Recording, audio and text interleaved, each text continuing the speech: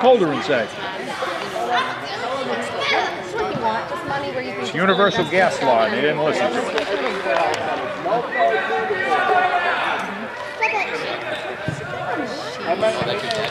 My boy Stu! When we were in Naples, Florida, we were sitting next to this couple at the bar, and she was telling us she just sold 0.6 or 0.5 of the rate. I think she sold it for two months. Because if Four we months? just Oh, that was in uh, Marco Island. No, no, no, but she was selling it in Montana. my kid should leave. Oh, Montana leaves going She's been, bad? she said she'd No, it was a key to go area. over there just because I have it for that one year. She and was like, oh, I kept seeing it. My, my dad told me years ago to buy it. She goes, I've been selling it I guess it's like Oh, nice try, buddy! Great throw, kid. Great throw. No. Oh, that poor kid. He had it in his hands and he just.